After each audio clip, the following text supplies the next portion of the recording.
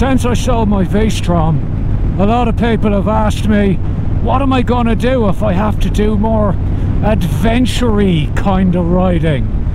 You know, dirt roads, river crossings, all that sort of stuff. Well, matey, here's just a few choice highlights from my ride around Charters Towers today. And there's water over this floodway.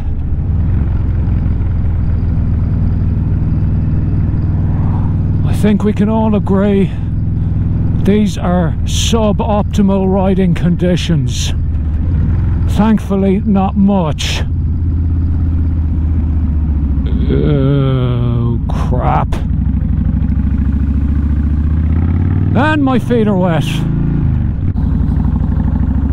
I have no idea where I am.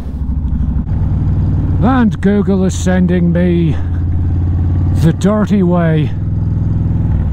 Been a lot of off-roading today. Ooh, is that? No, I'll get through there. That's fine.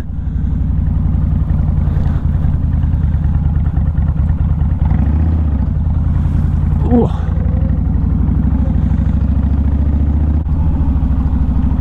Ooh. Burned out car.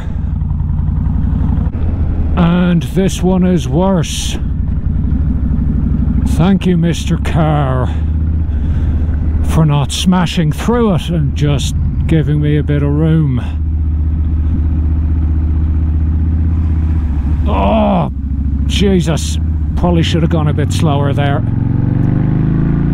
Thank you. Okay, I will admit the V-Strom probably would have been better at all of that stuff. But she did alright for a 14 year old muscle cruiser.